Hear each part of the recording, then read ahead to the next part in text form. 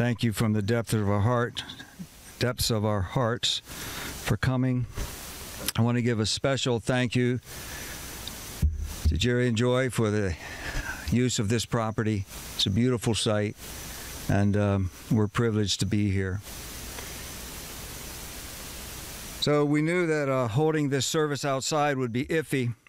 Uh, the weather is unpredictable, of course.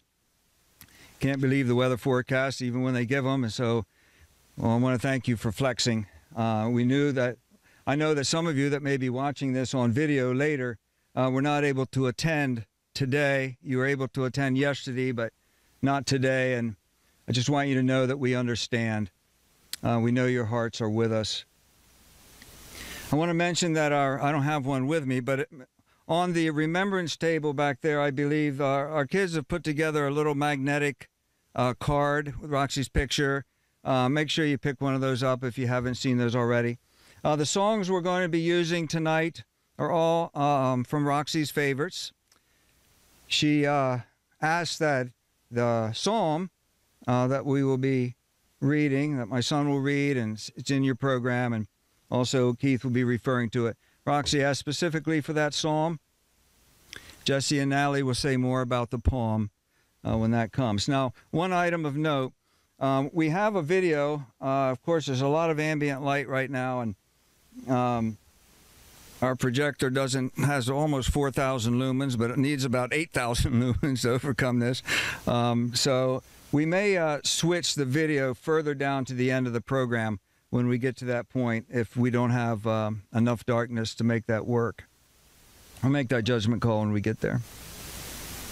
Well, we are here because God has called Roxy home, and her soul has passed into that extra dimensional spiritual reality where God exists. She's finished her life on earth. And by my evaluation, it's been a life well lived. Now I recognize and I bow before God, who alone has the right and the authority to judge our lives. But as Roxy stands before God, clothed in the righteousness of Christ, and that's key, clothed in the righteousness of Christ, I am confident. In fact, I'm certain that she's hearing, Well done, my good and faithful servant, welcome home. Knowing this, realities like this, truths like this from the Word, are a real source of joy in the midst of heart wrenching sorrow. So I believe it's probably helpful to attend memorial services and funerals because it's a good it's good to be reminded that we are just one breath and one heartbeat away from entering eternity. If you compare the length of your life here on earth with one grain of sand, then just the beginning of eternity would be all the grains of sand on all the beaches of the world and all the deserts of the world. All of those grains of sand, and that would just be the beginning of eternity. And so what Roxy's life on this one grain of sand is over. And how she has lived on that one grain will determine the rest of the grains in all the earth. You do that comparison. So I would argue it is wise to contemplate our eternal destiny while we can still do something about it. So we've assembled to celebrate a life well lived, to give tribute to my beloved Roxy, who has been a blessing to so many. But more important, we have come to acknowledge the grace of God apart from which Roxy would not have been the woman she was or lived the life that she lived. We are here to acknowledge the love and grace of God, which is the source of all our blessings. So, welcome, and I trust that you will be blessed for coming. This time, my son Mike is going to come and lead us in an opening word of prayer.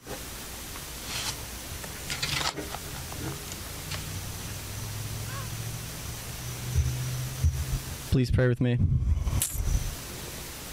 Dear Father, thank you for this day that we can come together uh, and remember Mom, that we can come together and and give thanks for the life that you've given her. You're the giver of all good things, and you have given mom a good life. You've given a good relationship to us in her. We thank you for her.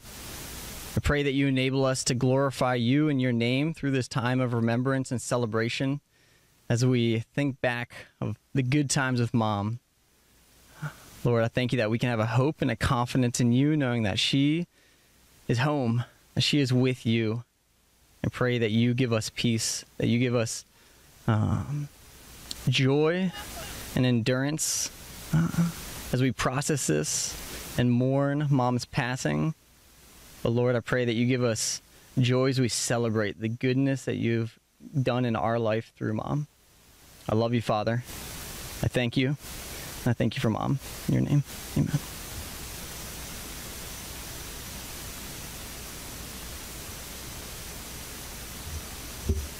At this time, Allie Scott, uh, mom's niece, is going to come up and sing a solo.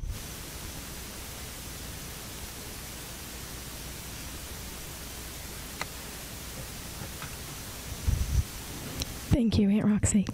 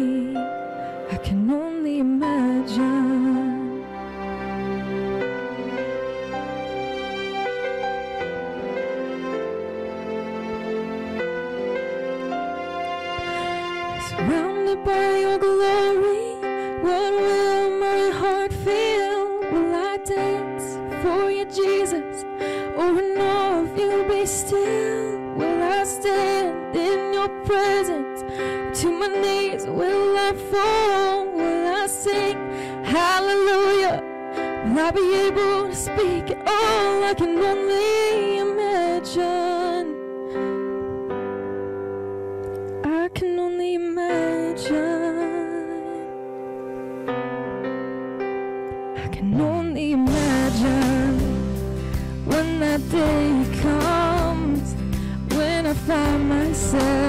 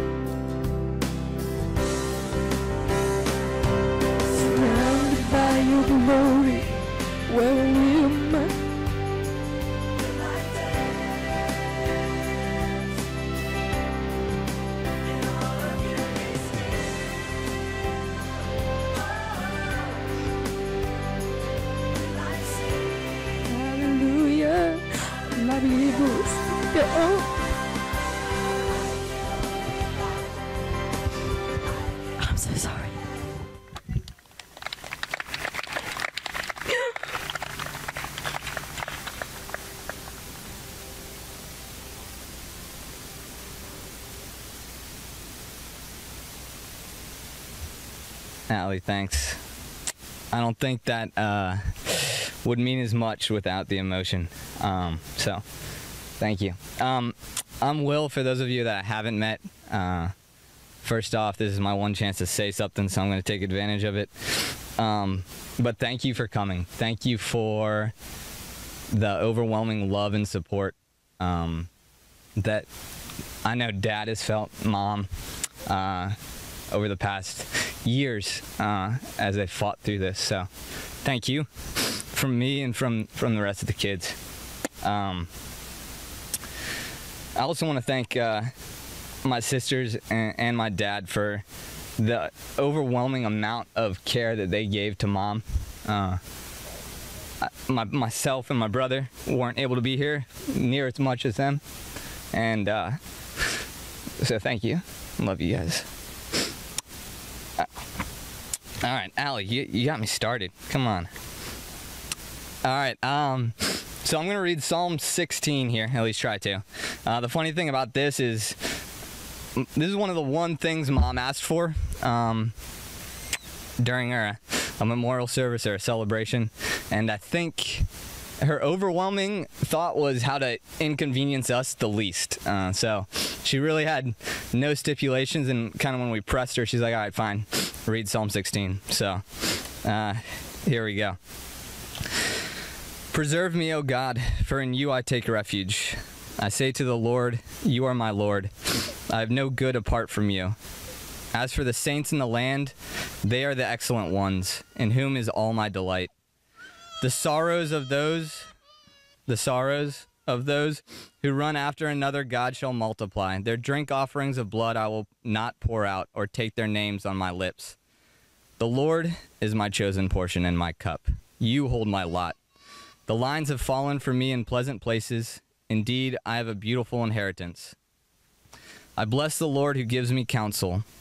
In the night also my heart instructs me. I have set the Lord always before me. Because he is at my right hand, I shall not be shaken. Therefore my heart is glad, and my whole being rejoices. My flesh also dwells secure, for you will not abandon my soul to Sheol, or let your Holy One see corruption. You make known to me the path of life. In your presence there is fullness of joy. At your right hand are pleasures forevermore. All right, next I'm going to invite my sister Jessie and my sister Natalie up here.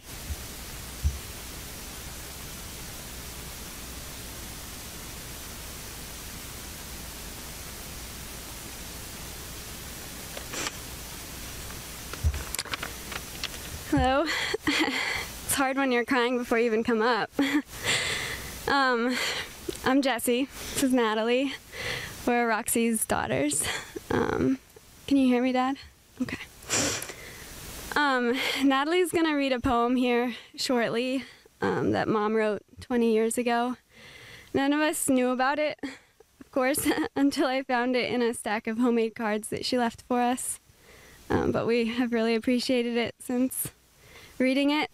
Um, and I, I know this isn't about Natalie, but I just want to praise God for letting me walk through this with her because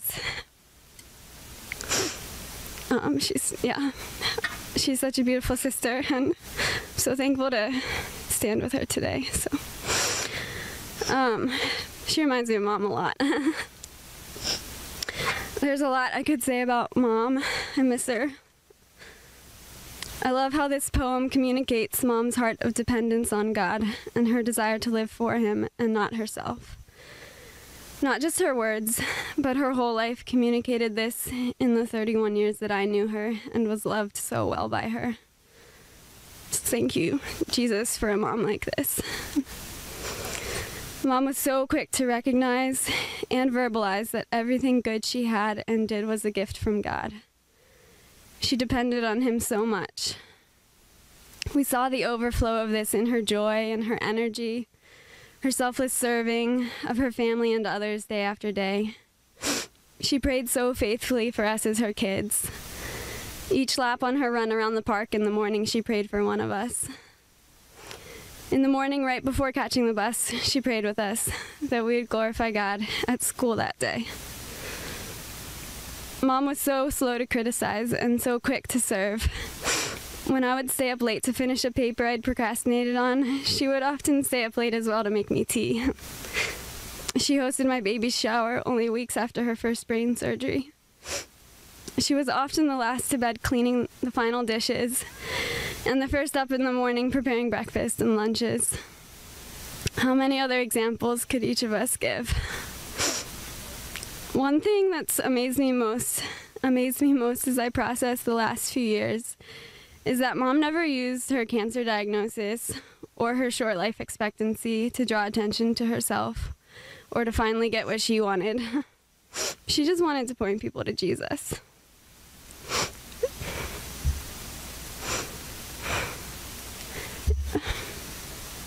She spent time reading books about suffering and end of life so that she could recommend them to us and help us even after she was gone. When her brain was too affected to do administrative tasks, she spent time going through the house and clearing out as much as possible to make it easier on us in this time when we feel so raw with the pain of her absence. I'll never forget a conversation we had the year after her diagnosis. She was suddenly overwhelmed again at the reality of the love of Jesus. With tears in her eyes, she said she still couldn't comprehend how he could love her so much to guarantee eternity with him, to offer full forgiveness and acceptance. But she was so thankful and so sure that he did. Maybe she had just reread the words in her own poem. So trust the one who loves you more than you can comprehend. He died for you, he lives in you, he'll tell you once again. Nat's going to read the poem on the back of your bulletin. If I can read this whole thing successfully. If I don't look at you guys, it's because the the more people I see here, the more emotional I get. So, um, like Jesse said, uh, Mom wrote this poem back in 2000, which was 20 20 years ago. With courage from his once from his gracious hand, we go to take a stand. And not just stand, but move ahead into uncharted land. Yet he is there ahead of us, preparing all the way, the hearts of men and kings alike, that his will will prevail. The path seems dim and obstacled to our poor sightless eyes. Yet each step proves his faithfulness. Our tears of fear he dries. He boldens us to trust him with what seems far beyond our human capabilities, for he is an awesome God. Our God, Creator, Father, Lord, our precious Jesus, friend, our Savior, Guide, Provider, Strength, will to the world us send to boldly tell of his great love and be his love expressed through feeble limbs empowered by him, enabled to do his best. So trust the one who loves you more than you can comprehend. He died for you, he lives in you. He'll tell you once again that he will work in you to work his will here or abroad.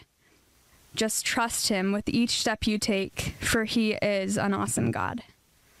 Amen. Good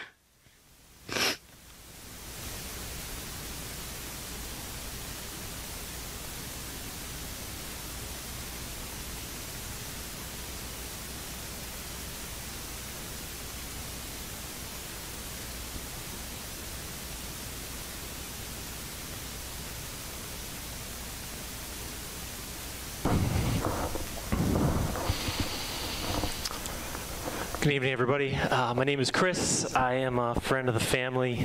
Um, we who knew Roxy uh, knew of her desire to to point people to Jesus, and um, one of the ways in which we do that is corporate singing.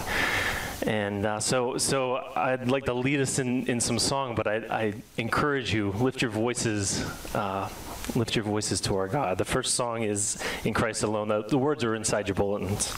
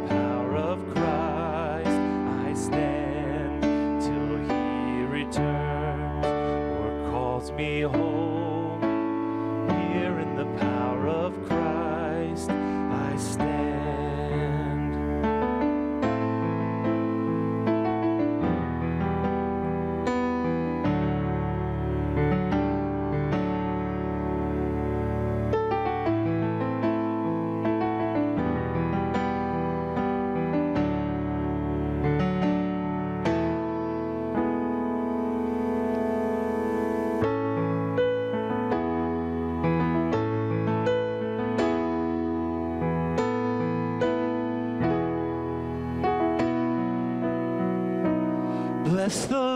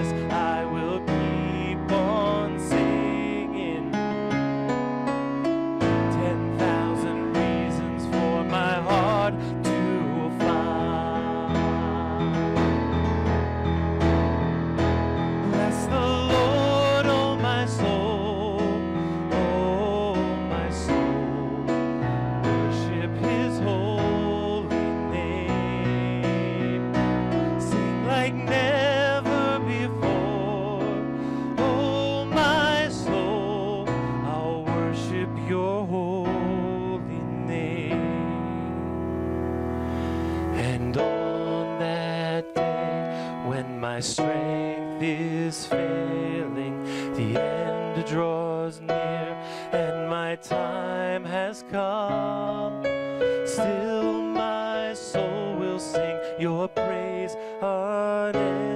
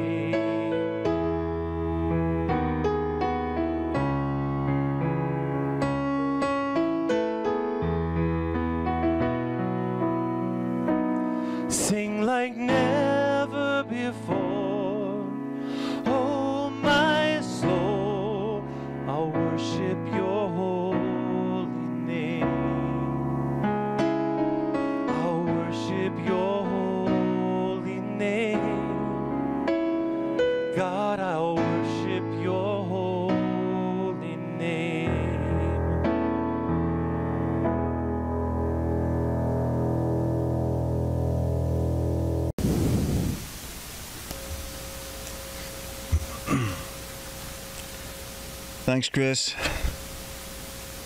Is this mic on? You hear me? Okay.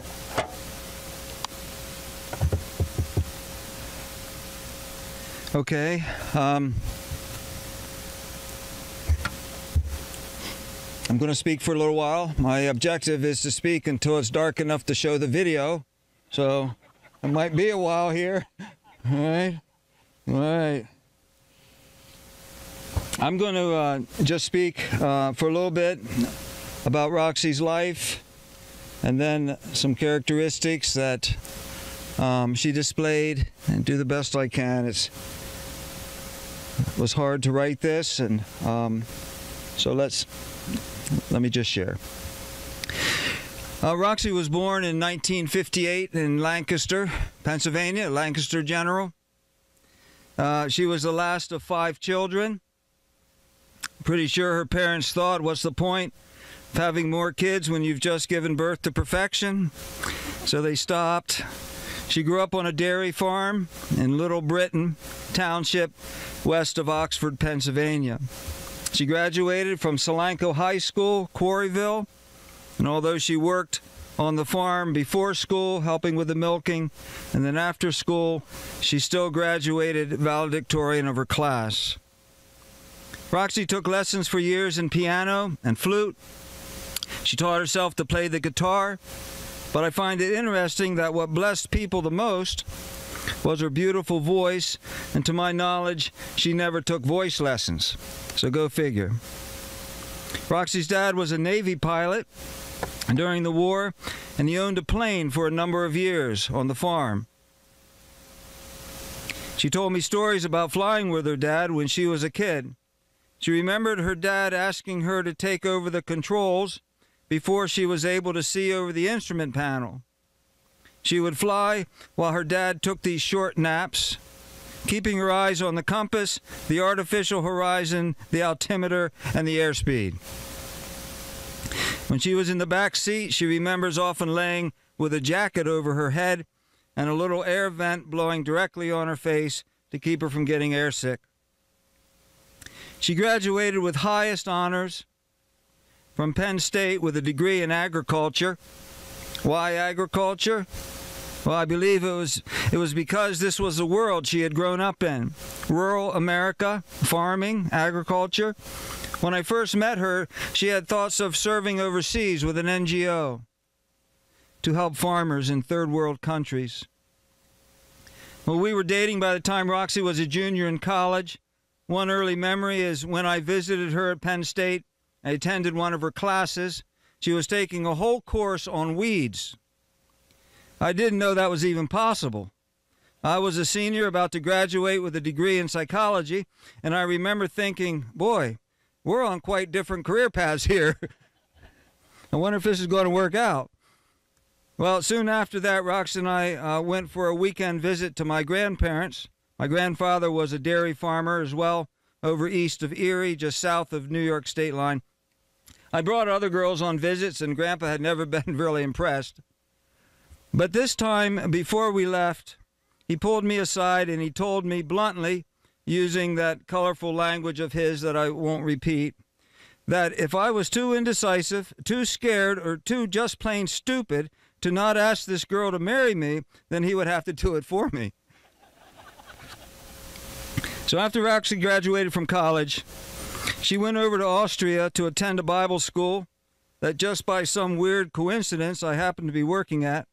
And one weekend I took her to Salzburg to a restaurant with plans to ask her to marry me.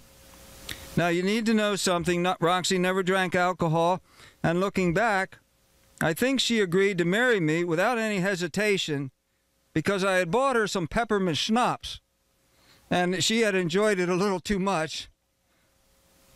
Thankfully, when she was back to her usual self, she didn't change her mind. And we were married in 1983 in the church that my father pastored in Maryland. We took a one week honeymoon and then left immediately for Denver, Colorado, where I was enrolled in seminary. We practically had nothing. Roxy owned a two door Nissan Sentra. I sold the old car I had, and we used this Sentra to pull the smallest U-Haul, the uh, U-Haul trailer that we could find. We had very little money. We had no furniture, no place to live in Denver, no jobs. We slept on the floor in our first apartment for months, and we ate sitting on the floor as well. But we had two things going for us. We were in love, and we shared a deep devotion and a deep love for Jesus Christ. Before Roxy fell in love with me, she had given her heart to Christ when she was a sophomore in college. She was totally committed to Him as her Savior and Lord. I never doubted her love for me, but I always knew that her devotion to Christ was preeminent. So, although I could offer her very little, she stepped out in faith, believing God would provide, and God surely did provide. Looking back, though, I, I, can see how much Roxy had to face in those early years. But she loved and trusted her Lord. She loved and trusted her husband. More importantly, she trusted that I was committed to and I was submissive to God. She never grumbled. She never complained. Just that beautiful smile. She wasn't moody. She wasn't prone to depression. She never seemed to worry. Life was just an adventure. In the years before the kids were born, Roxy loved to go on multi day backpacking trips in the Colorado Rockies. She may have been short, but she was strong. She could carry a hefty backpack as well as anyone. In fact, I would usually insist on leading because when she would go first, I'd honestly have trouble keeping up.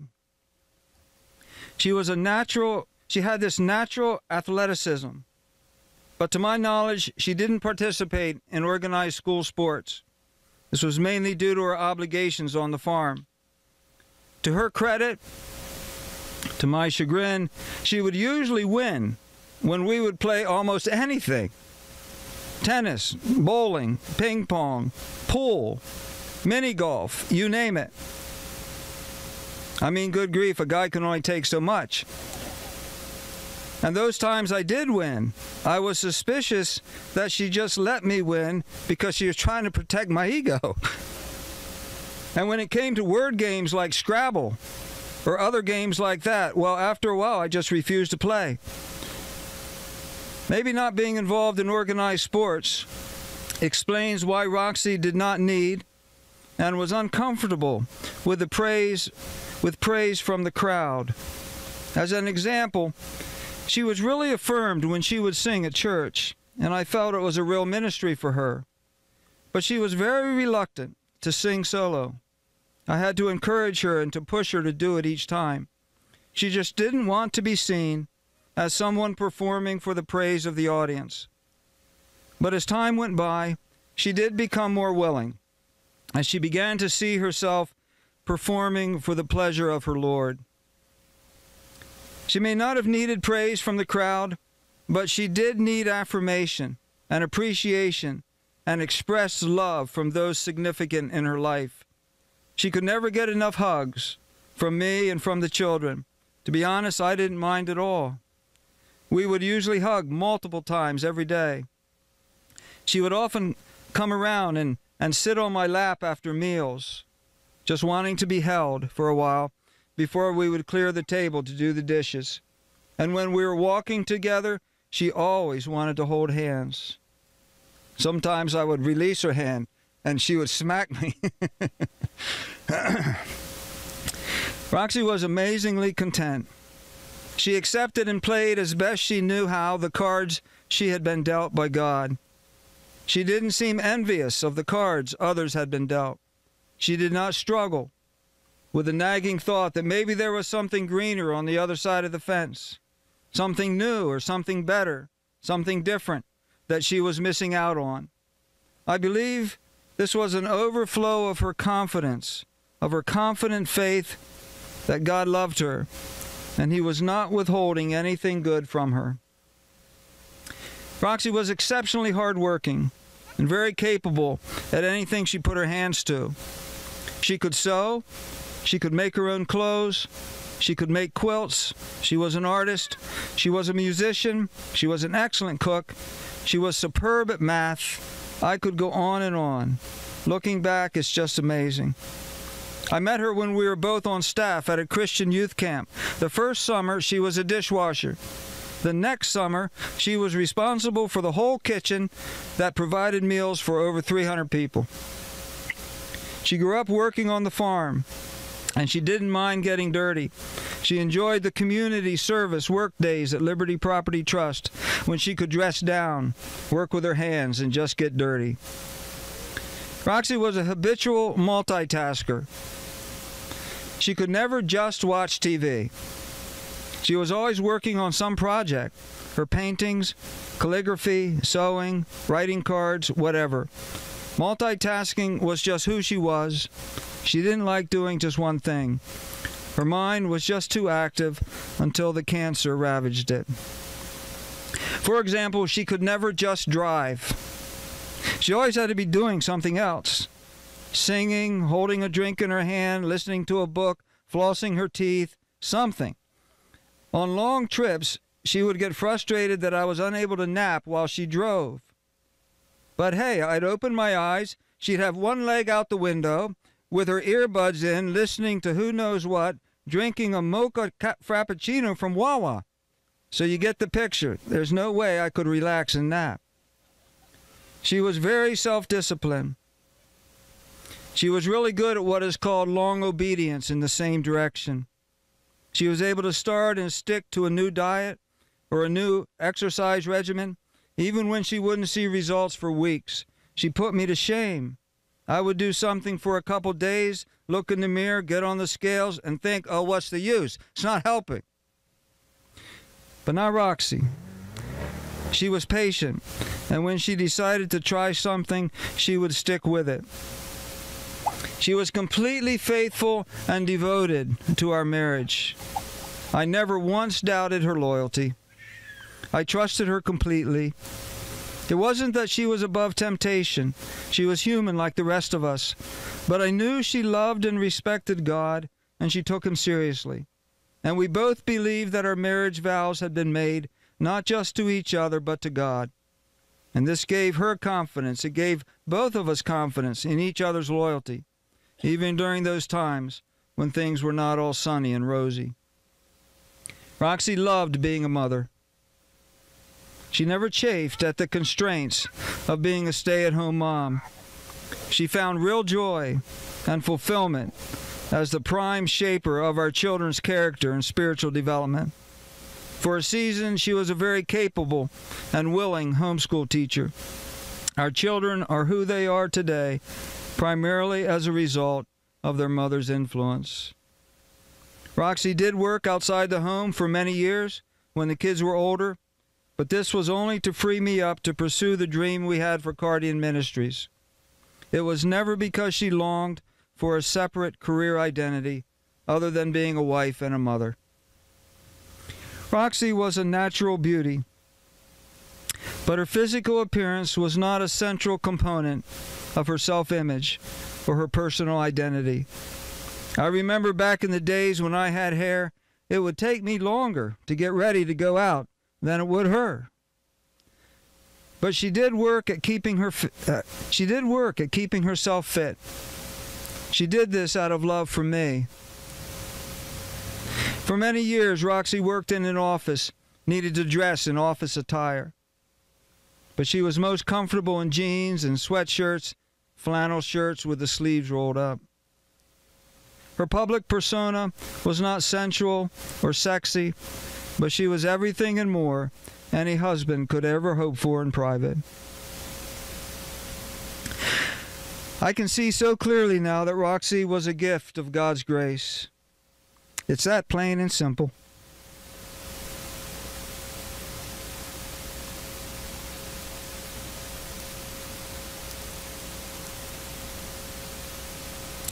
There's no way I ever deserved the gift of Roxy's loyalty and love.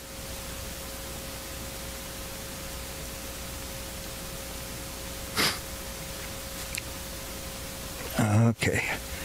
I always assumed I would go to my grave still possessing the joy of her presence.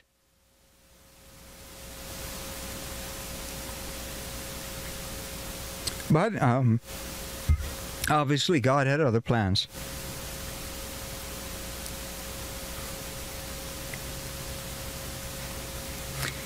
He had loaned me his precious daughter for a time. He allowed me to love and care for her, to be loved by her for 37 years. But she never ultimately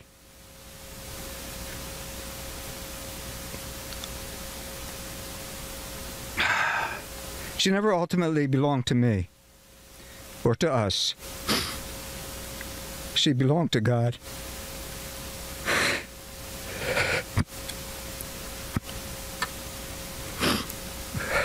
Ein momento.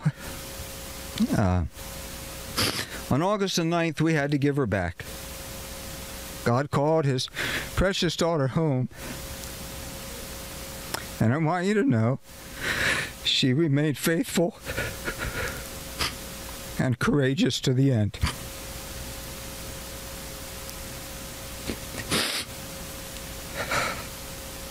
Okay.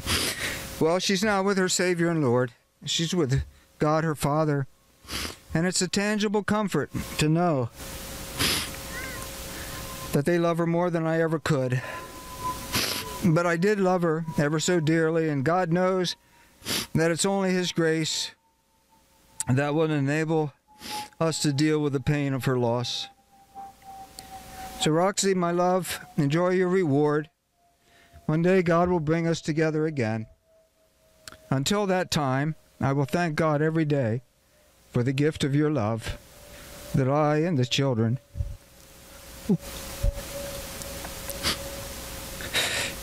we're, just three more words. We're so blessed to know. All right.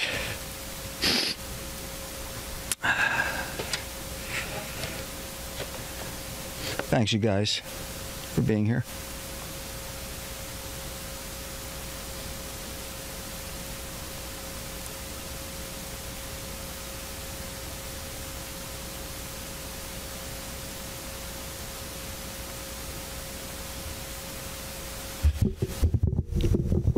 Thanks, Bob, for sharing those those words.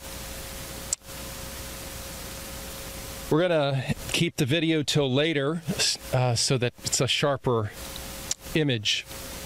But wanted to give people an opportunity um, to share something in the way that Roxy made a difference in your life. You obviously heard those heartfelt words of Bob. And so um, there's somebody out there with a handheld mic. And uh, if you raise your hand, uh, there are wipes that they will wipe down the mic and hand it to you.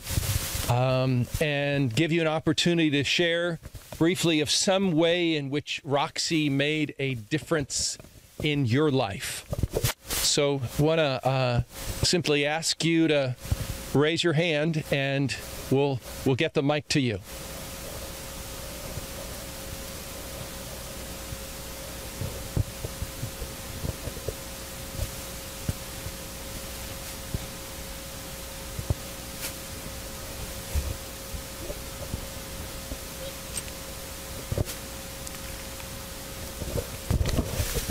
Hello, I'm Bob's uh, younger brother, Dave. One of my sisters was down a week ago.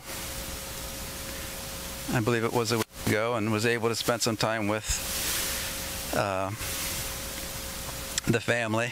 She could not be here. She's back in Canada, and she, uh, I think she sequestered now for three weeks. Have it, but she really misses being here. She sent me a text this uh, this morning um, wanted me to, if I had the opportunity, um, speak on her behalf. So I'll try to do that.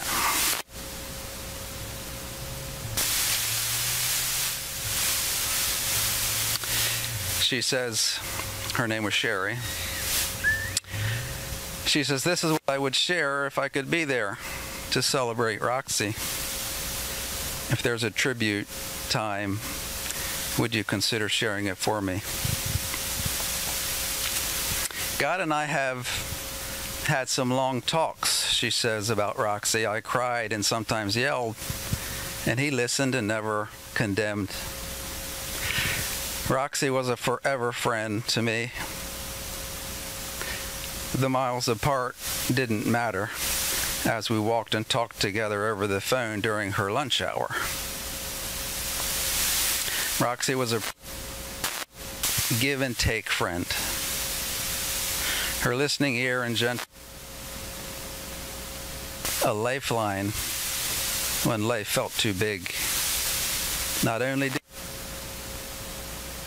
she was willing to be vulnerable and share her heart with me. She trusted me to pray for her, and I also trusted her to pray for me. She was deeply loved. She deeply loved Jesus and embraced his love for her. Roxy was fiercely loyal to Bob and her children, her family, and her friends. She loved Dad. She was loved. Gave of herself to all of us. She has left a deep hole in my heart, in our hearts, in our family. The tears will stop, but for now, I say thank you.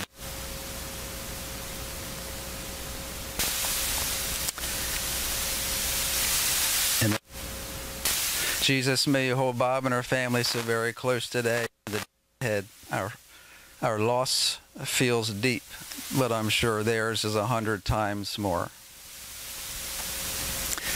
And then she closes with this Love you all. To Roxy. To grieve and to celebrate her life together, but so thankful for all, all of you that could be. Sherry, Al, and family. you know we're we're having uh, that might come in and out. And so maybe we thought that if you're willing uh, and would like to share if you come up here. Um, so if there's anyone who'd like to share about the difference that roxy's made in your life if you're willing to to come up um, and if there's more than one of you it'd be great to have you stand in a line to come up. Uh, but is there anyone who'd like to share something of the way Roxy has made a difference in your life?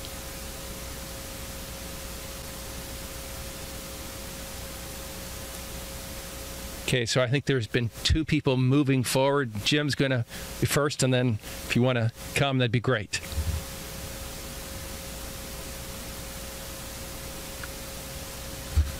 I'm going to be pretty quick. I'm a friend of the family, and I'm realizing I'm reflecting as we speak, as you guys speak, about our influence, about what God's built into our lives, etc. So I got to be the youth leader when the Scotts moved into our church, and Roxy's impact on our youth group, not as a volunteer, not as a youth group mom necessarily, she was one, but was through her kids that literally brought the Lord in a genuine way to our youth group time. Any youth group kid that's here now knows that to be true. So it's not meant to be a praise to the to the family. It, it is that. But I'm aware of exactly what Bob said. Roxy's influence on her family for the glory of God played through not just her influence, but through her life and her family in a way that was remarkable on my life um, and on those of many, many, many in our youth group, in our volunteers, etc. I'm grateful for your mom, and I'm grateful for you guys as well.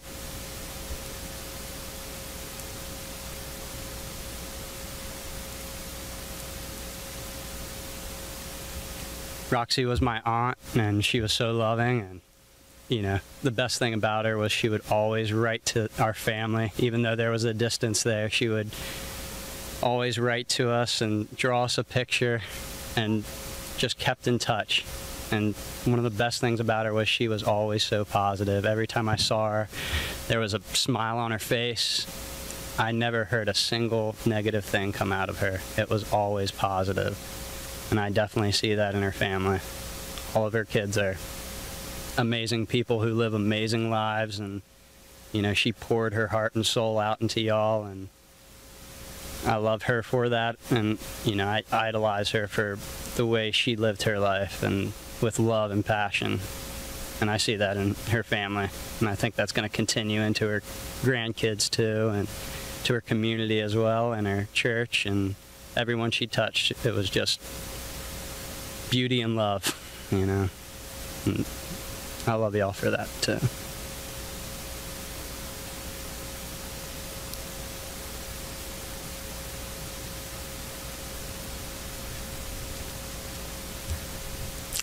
Hi, good evening. Um, I'm Kathy Gillis. I'm Natalie's mother in law. And um, unlike most of you, first of all, my voice is shaking. I was willing to do it back there. This is a little. Um, so, unlike most of you who have had the experience and the joy of knowing Roxy for so many wonderful years, I was looking through my journal today before coming here and realized that it was one year ago today, this very day, that uh, Dan and Natalie hosted dinner for my husband and I and Bob and Roxy. And I got to meet the wonderful lady that we are here to celebrate. Um, I had to come up because I thought, yes, life is precious. We don't know how long we have. And I wanted to read to you a text that she and I had had a while back. Um, it kind of goes to attend to what uh, Jesse spoke of earlier. I asked her when she was going back for some treatments how it was that I could pray for her. This is her response. I guess my main prayer request would be please pray that I would be sensitive to every opportunity that the Lord brings me to share Him with others in my path today. So I just wanted to share that and realize that we just all have that beauty if we've known Roxy. So thank you.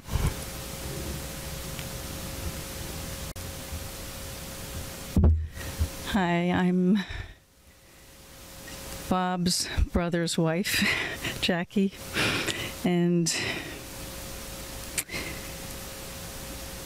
last fall, when um, I think it was October, Roxy had to have another mask made because when she would have the, it was an MRI radiation, she'd have to be bolted down her face for I don't know, you know, a little while, and you know that just like took my breath away. And I remember going for on a walk, and just again, you know, just processing with the Lord and what are you doing? What what's what is this about? And and uh, you know, just a poem came to my mind, and I wrote it to her about this personalized mask that she had to have made for a personalized task that her master was asking of her. And, you know, I, I was, I think, I think we all were hurting a lot more. That she was just so. Listen to her response after my poem. I sent it to her. Let's see if I can read it here. She says, Thank you so much for your precious, thoughtful poem and for the encouragement that you are praying for us. The Lord is so good in blessing us with family and friends that love Him and encourage us. He is daily encouraging us in many ways. We do not fear the future because He's in control and loves us, and we can trust Him. So we're simply taking each day as it comes and making the best of it. Bob is such a good caretaker. He spoils me. That's what she said. Isn't that awesome? So I just love your wife. And thank you for this beautiful tribute to her.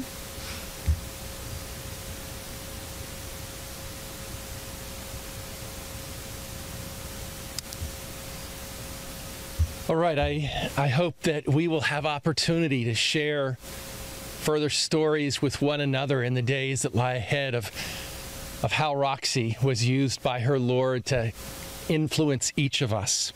But let's move on in our service um, to uh, the worship song.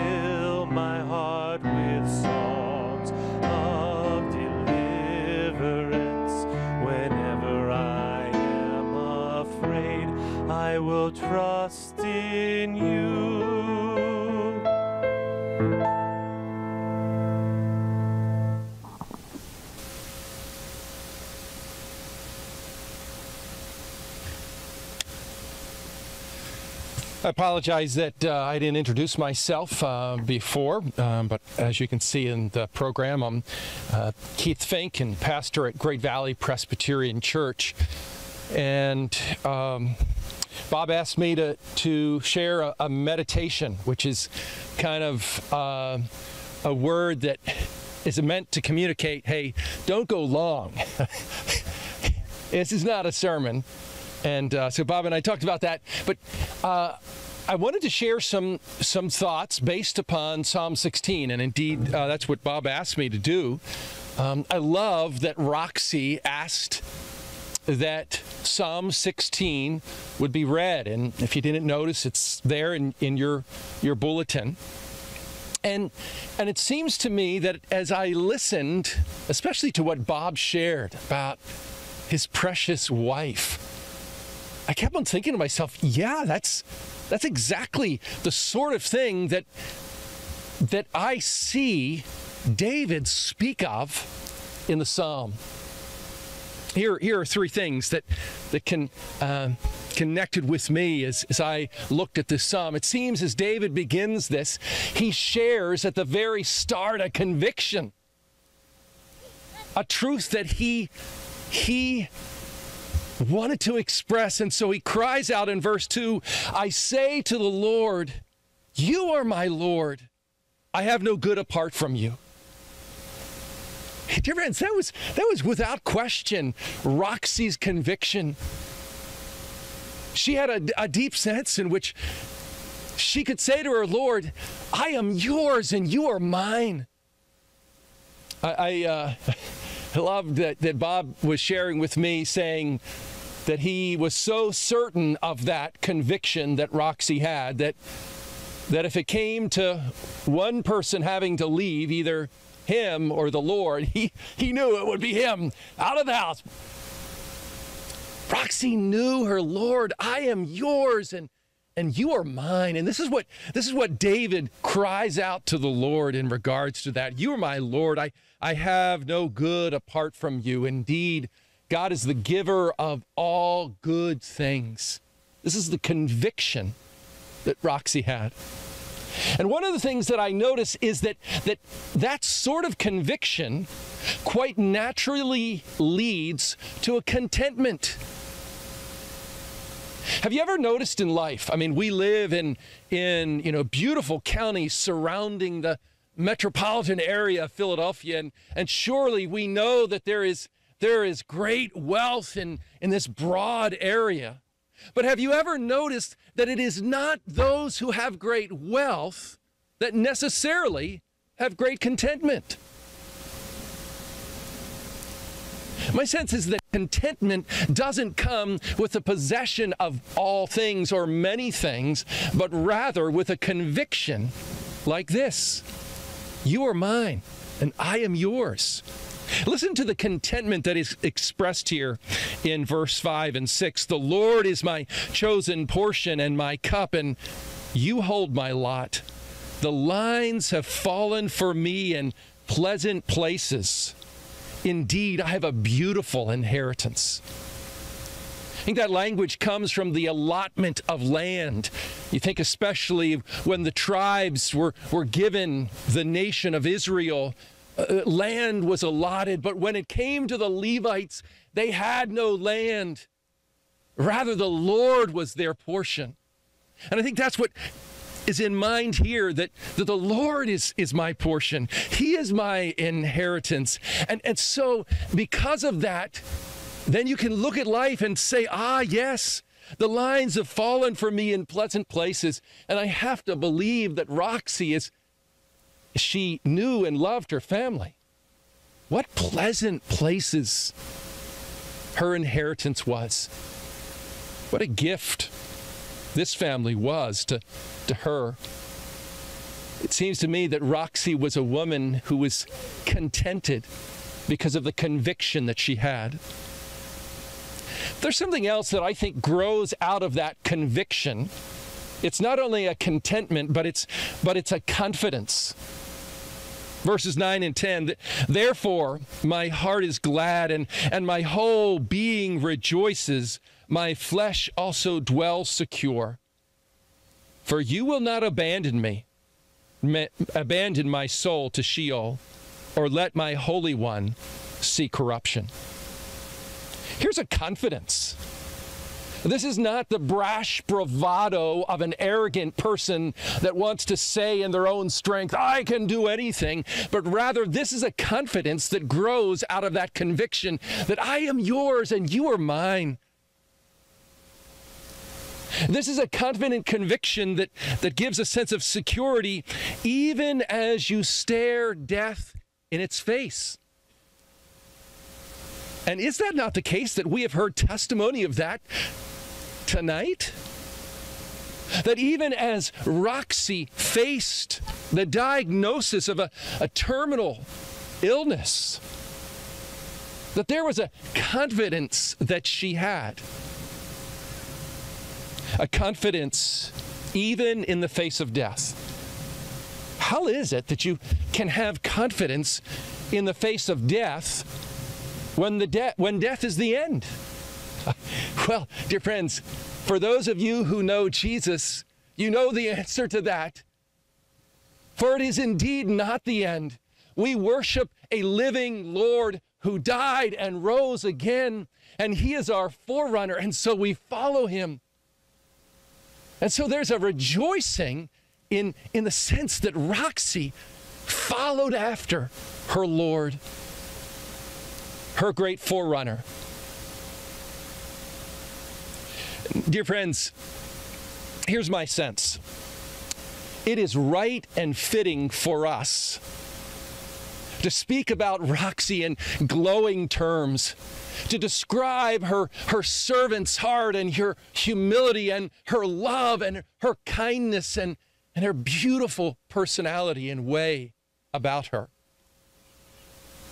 But my sense is, is that if all of us walked away from here and the takeaway was, wow, Roxy really was someone. You know who would be the first to be disappointed? Roxy.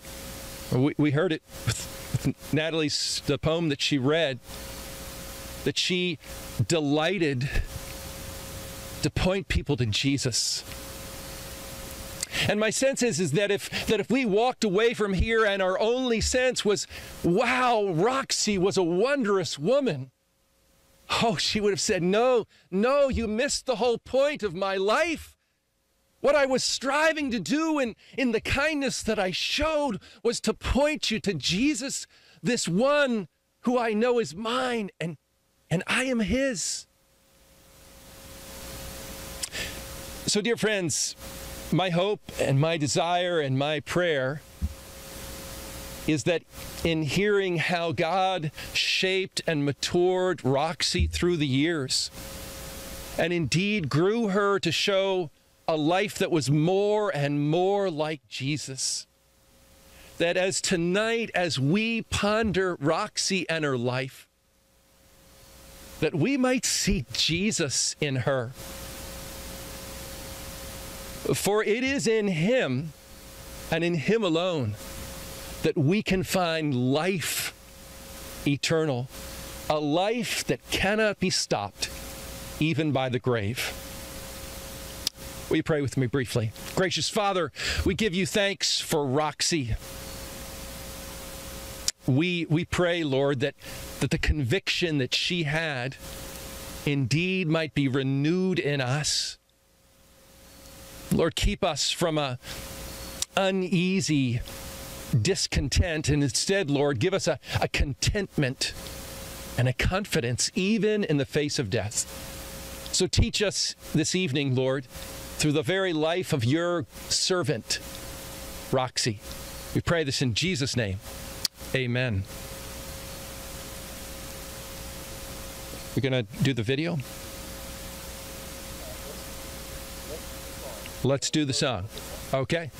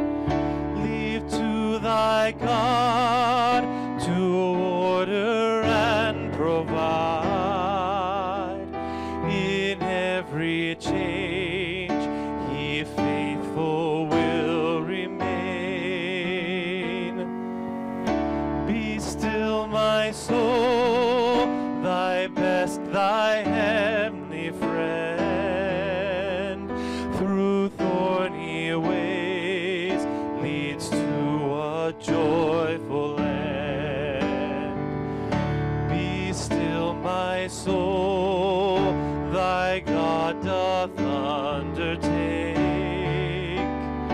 to guide the future as he has the past. Thy hope, thy confidence, let nothing shake, All now mysterious shall be bright at last.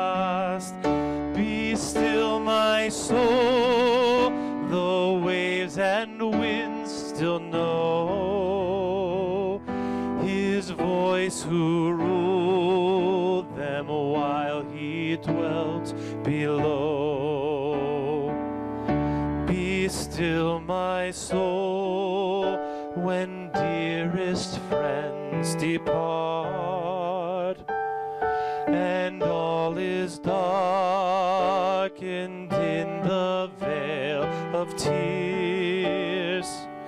Then shall thy better his his heart, who comes to soothe thy sorrow and thy fears.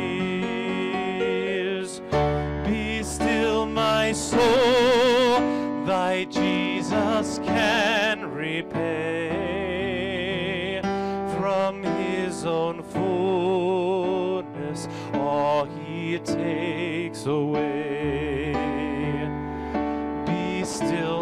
Soul, the hour is hastening on.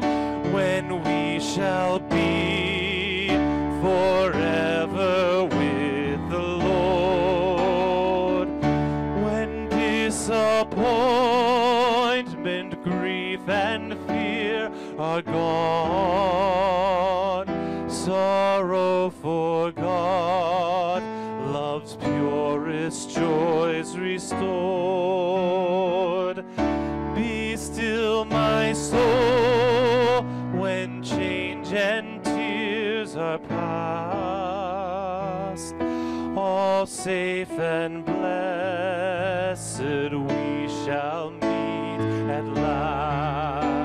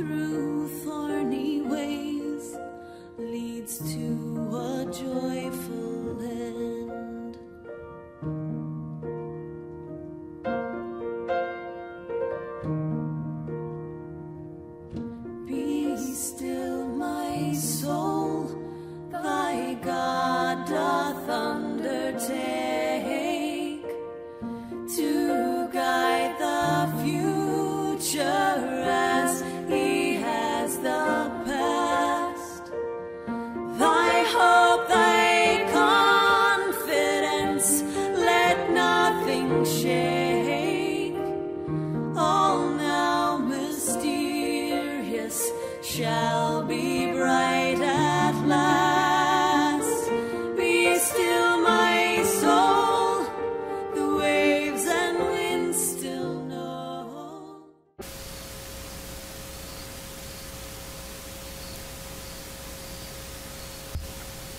So, uh, a word of thanks again to the Thompsons for their graciousness to to provide this beautiful sanctuary uh, where we could remember and celebrate the life of Roxy uh, in a time of worship.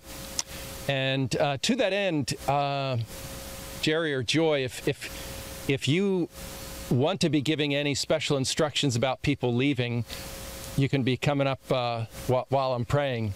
Um, but other than that, I'm sure they'll just say drive safely. Um, but I wondered if we could close with a word of prayer. Yes, J- J- one at a time. Good idea. Good. I like that. I like that. There's not a four lane driveway. Good. Okay, good. Great. Thank you. Dear friends, brothers and sisters in Jesus Christ, let's pray.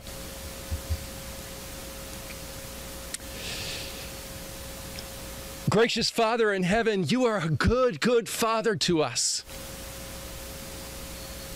And so it's right and fitting for us to give you thanks. You have taught us to be grateful. And tonight, Lord, we are deeply grateful for Roxy. What a beautiful servant you have given to us through her.